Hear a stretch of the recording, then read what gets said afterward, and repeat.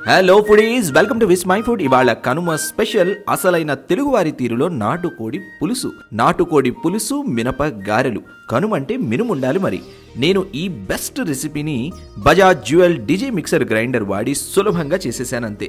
నాటుకోడి పులుసు కుదిరింది అద్దరిపోయిందంతే. డెఫినెట్గా మీ అందరికి నచ్చేస్తుంది. లెట్ స్టార్ట్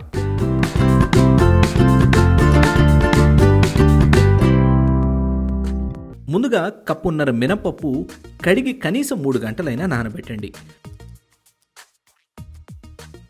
మరో బౌల్లో కేజీ నాటుకోడి ముక్కలు తీసుకోండి. ఇందులో ఓ టీ స్పూన్ ఉప్పు అర టీ స్పూన్ పసుపు ఓ టేబుల్ స్పూన్ అల్లం వెల్లుల్లి పేస్ట్ రెండు టేబుల్ స్పూన్ల నూనె వేసి ముక్కల్ని బాగా కోట్ చేసి కనీసం రెండు నుంచి మూడు గంటల పాటైనా నానబెట్టాలి. అప్పుడే ఫ్లేవర్స్ అన్నీ ముక్కలోకి ఇంకుతాయి.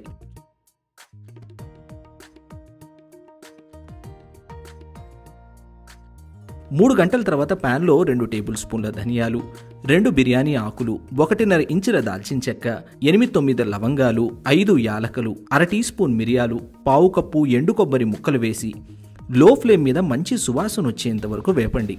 లో ఫ్లేమ్ మీద మాత్రమే వేపాలి అప్పుడే మసాలాలు చక్కగా వేగుతాయి. మసాలాలు వేగి మంచి సువాసన వస్తున్నప్పుడు ఓ టేబుల్ స్పూన్ గసగసాలు వేసి కలిపి స్టవ్ ఆపేసేయండి. ఆ వేడికి చిట్లిపోతాయి. గసగసాలు చిట్లిన తర్వాత మరో ప్లేట్లోకి తీసి పూర్తిగా చల్లార్చండి.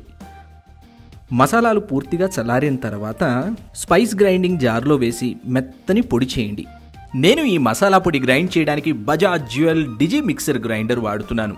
డ్యూరాకట్ బ్లేడ్స్ చాలా సులభంగా ఎలాంటి మసాలాలనైనా సరే చిటికలో గ్రైండ్ చేసేస్తుంది. ఇంకా ఈ Duracut blades lifetime warranty కూడా ఉంది. ఈ మిక్సర్ గ్రైండర్ ఇలాంటి డిజిటల్ టచ్ ప్యాడ్తో ఫోర్ ప్రీసెట్ మెన్యూస్తో వస్తుంది. సో జార్ లాక్ చేయండి ఆప్షన్ సెలెక్ట్ చేయండి.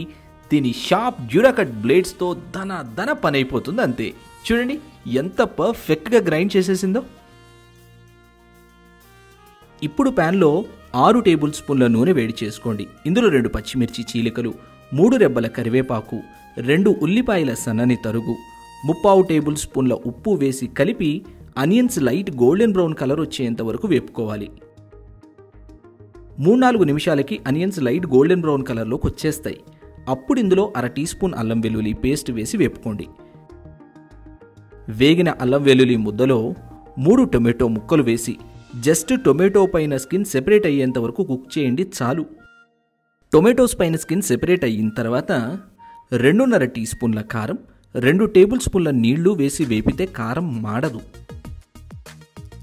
కారం వేగి ఆయిల్ ఇలా పైకి తేలిన తర్వాత మూడు గంటలు నానబెట్టినటువంటి చికెన్ వేసి హై ఫ్లేమ్ మీద ఎనిమిది నుంచి పది నిమిషాల పాటు కుక్ చేయండి. చికెన్ లైట్ గోల్డెన్ బ్రౌన్ కలర్లోకి రావాలి. పది నిమిషాలకి చికెన్ లైట్ గోల్డెన్ బ్రౌన్ కలర్లోకి వచ్చేస్తుంది. అప్పుడు ఇందులో మూడు కప్పుల వేడి వేడి నీళ్ళు పోసి మూత పెట్టి ముప్పై ఐదు నుంచి నలభై నిమిషాలు లేదా కుక్కర్లో అయితే గనక అర లీటర్ మాత్రమే నీళ్ళు పోసి ఐదు విసిల్స్ మీడియం ఫ్లేమ్ మీద రానివ్వాలి. కానీ కూర విడిగా వండితేనే చాలా రుచిగా ఉంటుందని గుర్తుంచుకోండి. చూడండి ముప్పై ఐదు నిమిషాలకి ముక్క ఆల్మోస్ట్ ఆల్ కుక్ అయిపోయింది.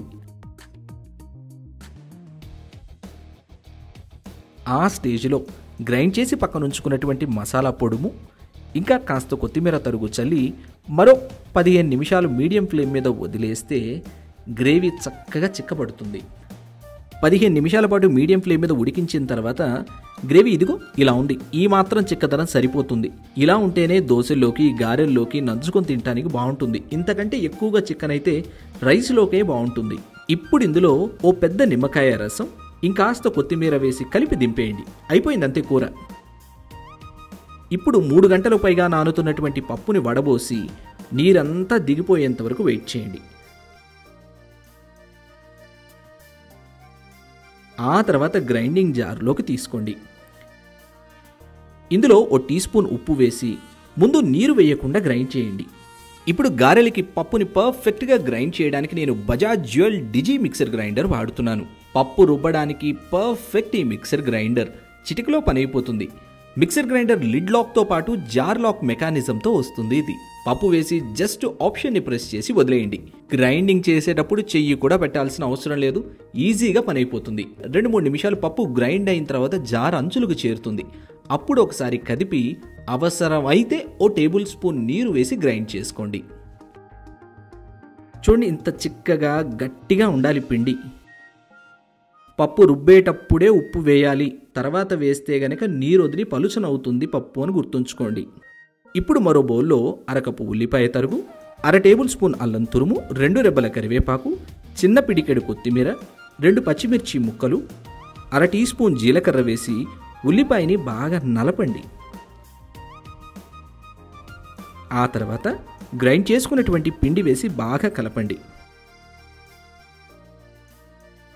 పిండి బాగా కలుపుకున్న తర్వాత అరచేతిని బాగా తడి చేసి చేతికున్న నీటిని పిండేయండి. అప్పుడు పిండి చేతికి అంటదు. ఆ తర్వాత గిన్నెలో నుంచి ఓ పక్కకి గారెల పిండిని లాగండి. నెమ్మదిగా బొటని వేలితో తట్టి మధ్యన రంధ్రం చేయండి. ఆ వెంటనే మరిగే వేడి వేడి నూనెలో వేసేయండి. ఒకవేళ ఇలా చేత్తో వేసుకోవడం కష్టమైతే మీరు ప్లాస్టిక్ పేపర్ లేదా బనానా లీఫ్ ఏదైనా వాడి గారెలు తట్టి వేసుకోవచ్చు. గారెలు ఎప్పుడూ మంచి కాక మీద ఉన్న నూనెలో వేయాలి. హై ఫ్లేమ్ మీదే వేపాలి. గారెలు రెండు పక్కన ఎర్రగా మంచి గోల్డెన్ బ్రౌన్ కలర్ వచ్చేంత వరకు వేపి తీసుకోండి. అంతే సంక్రాంతి స్పెషల్ నాటుకోడి పులుసు విత్ గారెలు తయారైపోయాయి. చాలా సింపుల్ రెసిపీ. ఎంతో పర్ఫెక్ట్గా కుదిరింది. మీకు ష్యూర్గా నచ్చేస్తుంది ట్రై చేయండి. కానీ ఎలా కుదిరిందో మాత్రం కమెంట్ చేసి చెప్పడం మర్చిపోకండి.